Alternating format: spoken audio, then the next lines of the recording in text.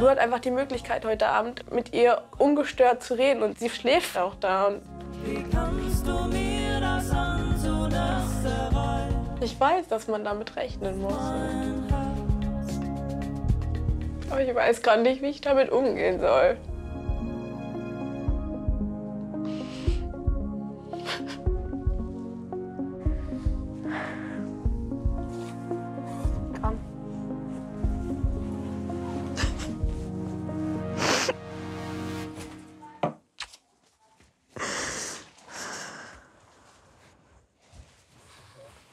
Boah, es tut mir so leid.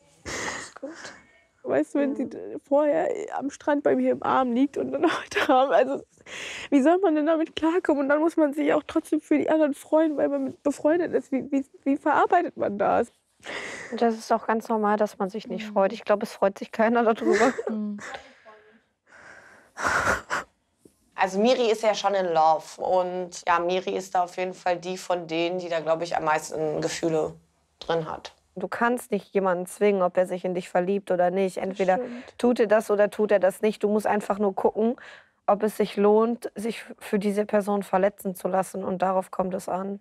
Aber nach heute Abend will Lu auf jeden Fall, sie schläft einfach. Klar habe ich Sorge, dass die sich heute näher kommen. Die werden sicherlich kuscheln und. Oh Mann, das ärgert mich so. I love you.